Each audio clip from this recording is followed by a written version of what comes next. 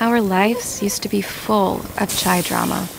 But now, we just place a cap in the chime, pour in our favorite milk, and watch it brew into the frothy goodness below. Chime